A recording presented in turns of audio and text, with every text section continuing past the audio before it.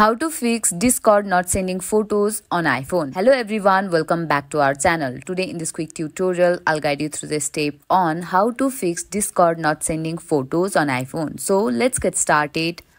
First of all, try force closing the Discord app. Swipe off from the button of your iPhone to open the app switcher. Then swipe Discord off the screen completely to close it. After that, try reopening the app to see if it works.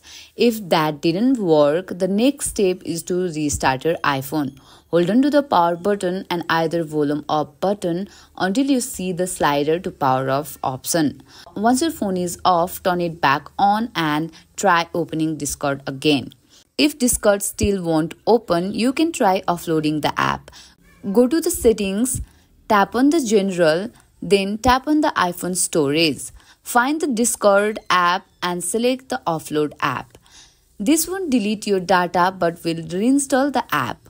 Once it's done, try opening Discord again. Also, make sure photo isn't too large or in an unsupported format. This Discord has file size limit of 8 MB unless you have Nitro.